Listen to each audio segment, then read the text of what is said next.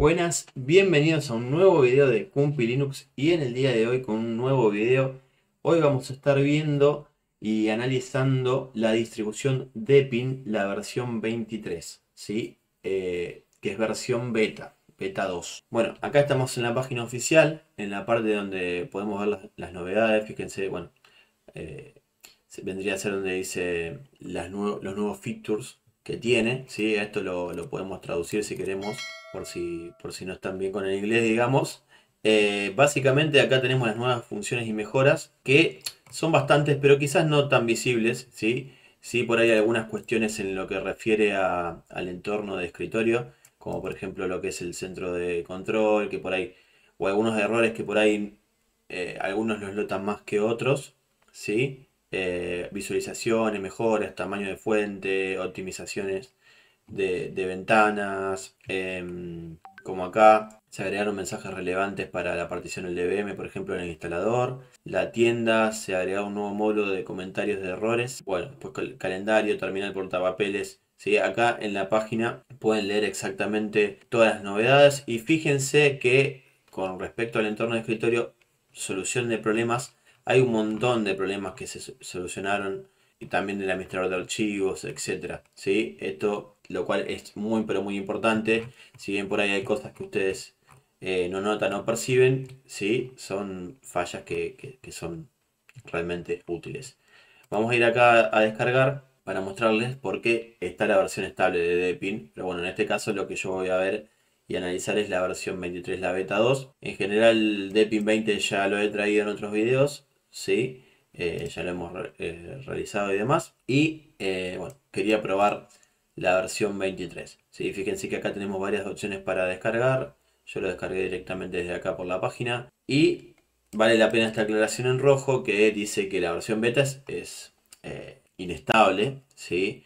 Por eso no es recomendable usarlo en entornos de producción.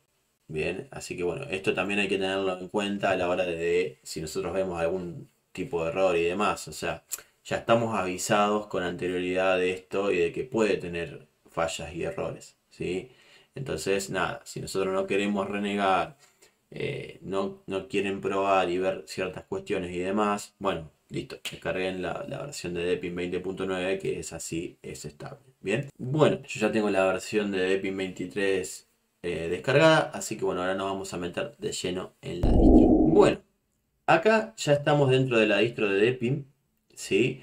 Eh, cuando ustedes la terminan de instalar, le va a aparecer un mensaje de bienvenida en donde se pueden configurar ciertas cuestiones de la apariencia, que ahora yo les voy a mostrar igual eh, cuál, qué es lo que le aparece básicamente.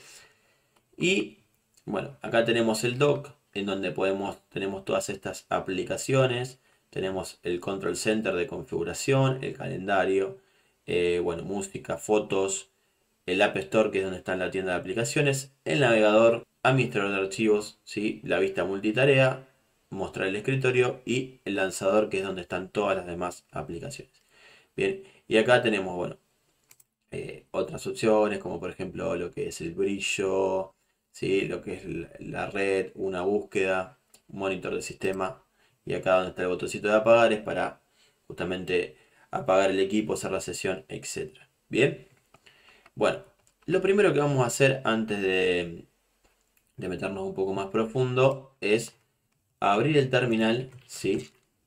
Para ver cuánto consume DEPI. En este caso, vamos a hacer un top primero. Y fíjense que tenemos, estamos utilizando 979 megas de, de RAM hay que tener en cuenta igual que esta no es la, versión, o sea, yo no dejé los efectos de ventana y también estoy usando el dock que consume más recursos en general que, las otras opciones. ¿sí? Ahora después lo voy a, eh, voy a mostrar también con, el otro, modificando todos los parámetros para que sea eh, no tan pesado, a ver si sigue pesando lo mismo. Bien, pero bueno, Depin lo que tiene es que tiene una apariencia muy bonita si nosotros la utilizamos con todos los efectos, el dock y demás, que a muchos les gusta. La verdad que a mí me parece bonito también. Pero bueno, tenemos que ver de acuerdo también al equipo que nosotros tenemos, ¿sí? Eh, vamos a ver si tiene el nuevo fecha instalado, que no me acuerdo si ya viene, creo que no. Vamos a instalarlo entonces. NeoFetch. Ponemos la contraseña. Le damos que sí.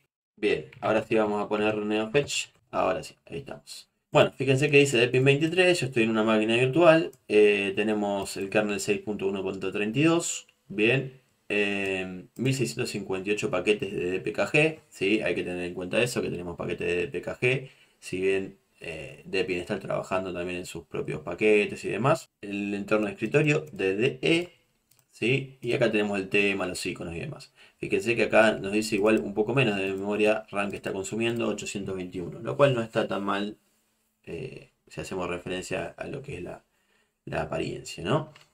Bueno, el mensaje de bienvenida que les aparece, yo lo puedo encontrar acá si voy al, lanzador, es este que está acá en introducción. Bien, es este mismo el mensaje. Fíjense que acá les, les muestra como un video y demás. Esto lo vamos a saltear. Si vamos a modo escritorio tenemos dos opciones. El modo elegante, que es la que estamos usando ahora, y el modo eficiente, que lo vamos a cambiar justamente. Vamos a pasar al modo eficiente. Bien. Después, comportamiento, lo mismo. Están con los efectos activados. Vamos a desactivar los efectos. ¿sí? Y después tenemos el tema de iconos, que bueno, esto sí lo, podemos cambiar si queremos a estas otras opciones. Bien. Por ejemplo, vamos a ponerlo en Flow. A ver qué pasa. De hecho, cambia también el, el fondo y demás. Bien, ahí vamos a cerrar. Fíjense que acá cambió el menú, se puso sobre la izquierda, un menú más quizás más sencillo. Lo que sí voy a ir al terminal a ver si se refleja en algo esto que acabamos de hacer. Bueno, por lo visto ahí en el en principio en primer momento, o sea, cambiándolo directamente y viéndolo, no nos refleja un cambio, por lo menos en lo que se refiere a memoria RAM. ¿sí? Eh, después habría que ver, igualmente quizás hay cosas que quedaron cargadas y demás, así que después lo que voy a hacer eh, antes de finalizar el video va a ser hacer un reinicio para que tome bien todos estos cambios y volver a verificar realmente la, memoria RAM. Bien, bueno, vamos a chusmear un poco qué es lo que tiene instalado. Tiene un navegador web, ¿sí? que no es el Mozilla, ahora vamos a ver. Después tenemos varias aplicaciones como LibreOffice, como el paquete de Ofimática. Tenemos escáner de documentos, Downloader, ¿sí? Em, Después, ¿qué más tenemos? Un compresor de archivos, ¿sí? para archivos zip y demás. Un instalador de paquetes el cual nosotros vamos a poder arrastrar los paquetes e instalarlos fácilmente. Administrador de discos. Monitor de sistema, que está bastante completo, la verdad. Acá podemos ver la memoria, eh, lo que estamos descargando, las aplicaciones que, están en este momento corriendo. Eh, después tenemos servicios también y usuarios. ¿bien? La verdad que está bastante completo lo que viene a ser el monitor de sistema. Que fíjense que acá hay cosas que están quizás arriba que a nosotros no nos interesa. ¿sí? Por ejemplo, esto. O lo de la impresora. ¿sí? Son procesos que lo puedo matar fácil. Le, hago clic derecho y le pongo matar proceso. ¿sí? Y bueno, es bastante, bastante rápido al hacerlo. Y sí se va a notar un poquito en lo que, en lo que refiere a la, a la memoria. ¿sí? Fíjense que va bajando. Bien. Bueno. Eh, después, ¿qué más? ¿Alguna aplicación más que me faltó ver? Bueno, editor de texto. Eh, de dispositivos, papelera, equipo. La tienda de aplicaciones. ¿sí? Que sobre la tienda de aplicaciones siempre se está tratando de, de, de mejorarla. ¿sí? En general, muchas veces solían aparecer muchas cosas así, tipo en chino. ¿Sí? Acá ahora está un poquito más, eh, nada, mitad y mitad por así decirlo. Siguen apareciendo muchas cosas en chino, como verán. ¿sí? Pero bueno, las aplicaciones que son por ahí más conocidas están ok, están en el idioma correcto, como por ejemplo, fíjense, el VLC. Yo puedo buscar igualmente acá eh, más aplicaciones, ¿sí? Sublime Text, Postman, están estas en, en inglés, o sea, se pueden interpretar.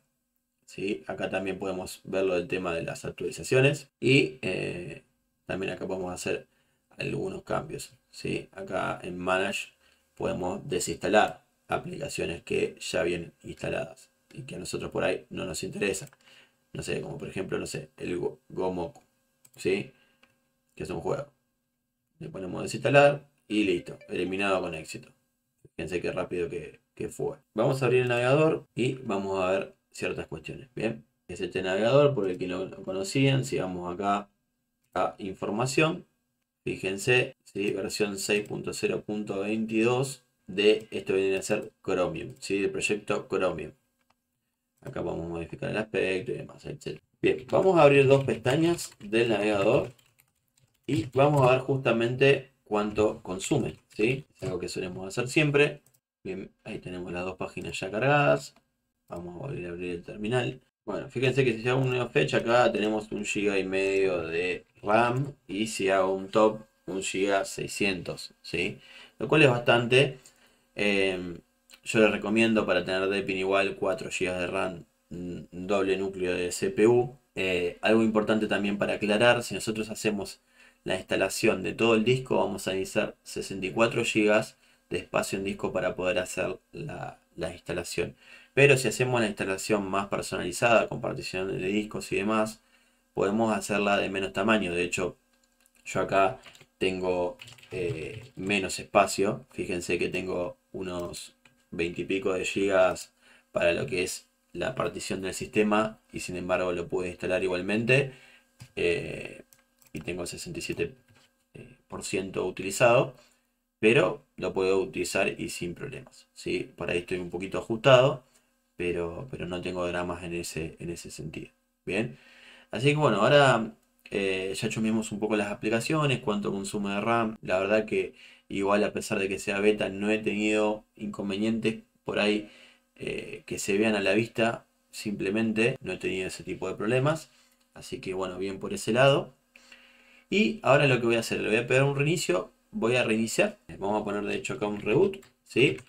y vamos a ver si, si esto que por ahí le sacamos lo que viene a ser los efectos y, cambiamos un poco el aspecto de la apariencia si realmente nos mueve un poco en lo que viene a ser el rendimiento, memoria RAM, etcétera y demás. Así como vamos a ver. Bueno, acá ya reinicié el equipo, fíjense, se llama un time. ¿sí? Tenemos un, minuto de, de, app. Bien. Eh, vamos a hacer un top. 918 megas utilizados. Y si hacemos un NeoFetch, tenemos 764 megas utilizados. ¿Sí? Ahí en el caso de NeoFetch, por ahí sí nos está mostrando un poquito menos de lo que anteriormente eh, nos estaba mostrando cuando teníamos todo habilitado. ¿sí? eso es verdad. Pero, pero bueno, la realidad es que no varía mucho en lo que refiere a RAM. Sí, por ahí también lo van a notar en cuanto a CPU y esas cuestiones. O sea, en el trasfondo sobre el final sí va a variar un poco. ¿sí? Pero tampoco es grande la diferencia si activan o no, o, no los efectos. ¿sí? Eso lo quiero aclarar por, las dudas. Al menos en esta versión 23 eh, de, de Bien. Así que bueno, la verdad que igualmente es, eh, eh, es una distro que la verdad recomiendo que la prueben. Siempre están trabajando muchísimo sobre la distro, haciendo mejoras, cambios. Hay una comunidad muy aferrada a esta distro eh, por su apariencia, por su entorno de escritorio y demás. Así que de seguro es una distro que va a seguir creciendo y mucho. ¿sí? Así que bueno, espero que les haya gustado esta review. ¿sí? denle like y suscríbanse si todavía no lo hicieron. Nos vemos la próxima. Chau, chau.